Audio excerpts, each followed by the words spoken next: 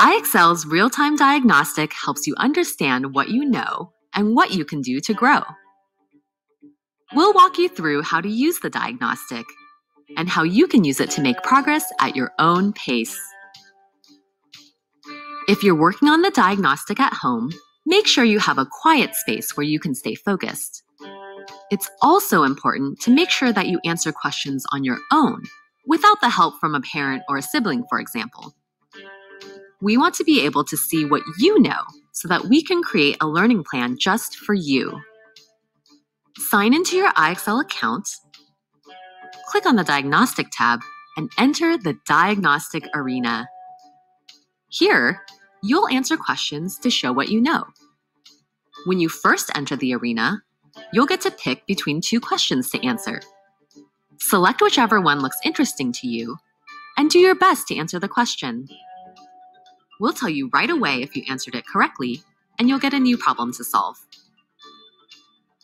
But remember that this isn't a test.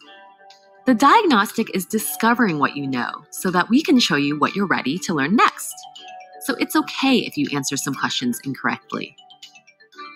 And if you come across a concept you've never learned before, you can click I don't know this yet to skip the question.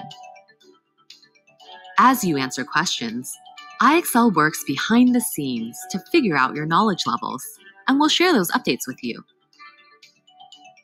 You'll see notifications when you narrow down or pinpoint a level, and when you've generated a new skill recommendation. If you have access to both math and language arts on IXL, the diagnostic will switch between questions from both subjects. But if your teacher has asked you to focus on just one subject, you can do so by using the filter at the top right.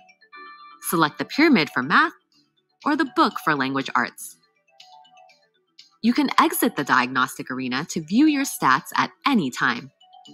This is what it looks like when your levels are all pinpointed with stars in every section. It usually takes about one hour per subject to pinpoint your levels, but you don't have to do this all in one sitting. We suggest splitting it up into 30 minute sessions. Once you have all of your stars, you are ready to move on to the exciting part. Based on your work in the diagnostic arena, IXL gives you personalized recommendations for skills that will help you grow from where you are. Choose one of these skills each day to work on and aim for a SMART score of 80. One last thing remember to visit the diagnostic often. Answering just 10 to 15 questions in the diagnostic arena each week will keep your stats and recommendations up to date. That way, you'll always have the right skills to strengthen your knowledge.